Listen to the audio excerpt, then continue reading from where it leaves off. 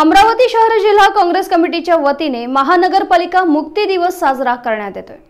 गेल्या पाच वर्षांपासून अमरावती महानगरपालिके इथं स्थापित झालेले भारतीय जनता पक्षाचं अत्यंत अकार्यक्षम बेजबाबदार आणि भ्रष्ट शासन आजपासून संपुष्टात आलंय.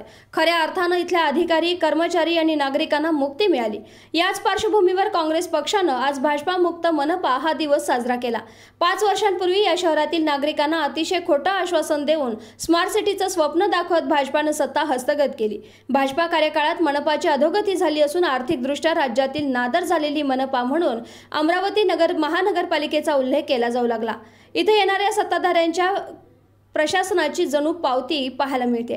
विधान शहर अध्यक्ष बबलू शेखावत विलास इंगोले माजी महापौर मिलिंद चिमोटे माजी महापौर यांनी हे वक्तव्य केलं आहे. यावेळी मोठ्या संख्येनं काँग्रेस पक्षाचे पदाधिकारी कार्यकर्ते उपस्थित होते. एबी न्यूज मराठीसाठी प्रतिनिधी विक्रम ढोके अमरावती.